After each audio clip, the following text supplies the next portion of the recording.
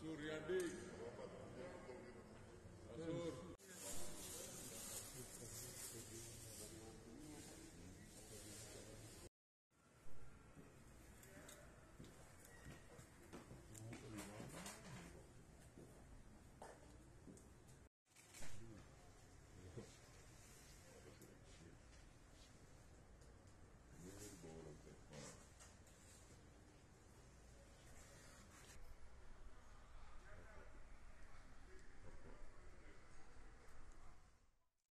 Udah divaksin Pak? Udah ya betul barusan.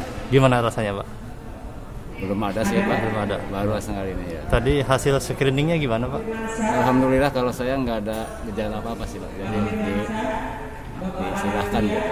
Hmm, tadi eh, tensi darah berapa Pak hasil pemeriksaan tadi?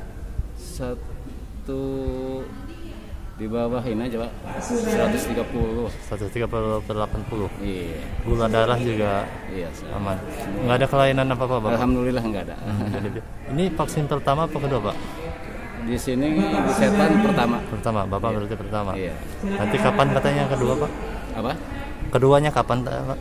14 hari setelah ini aja. Ya, Pak. Sebelum divaksin apa yang dirasakan Bapak? Deg-degan, takut? Ya Atau biasalah kayak seperti yang biasa dikeluarkan juga. Ngikutin aja Pak ya. Ya, Pak. Nah, setelah divaksin, pada saat disuntik tadi tegang atau Ya, rileks aja Pak? di santai-santaiin aja Pak. Disuruh dokter setelah divaksin ini apa Pak?